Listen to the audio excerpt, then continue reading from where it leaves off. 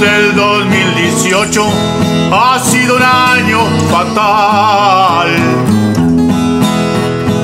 Hechos muy desagradables a la historia pasarán, como el que voy a contarles que nunca olvidarán. Fue un 26 de agosto cuando este hecho sucedió.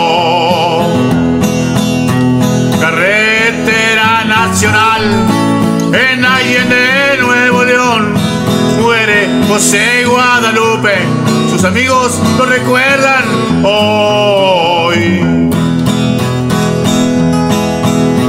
La música fue su pasión, un amigo lo comentó.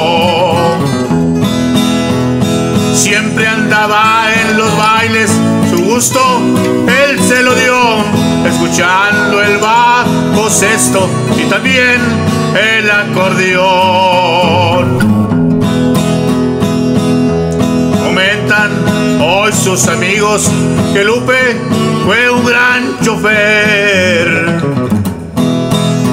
De los mejores de Allende, habidos y por haber, dicen que su enfermedad la provoca una mujer.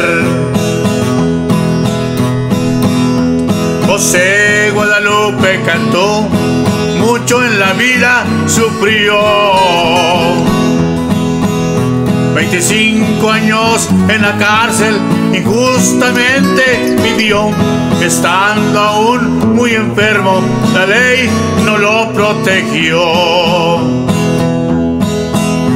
José Guadalupe cantó, él ya se fue a descansar por las calles de Allende, ya no lo veremos jamás, solo recuerdos dejó en esta bonita ciudad.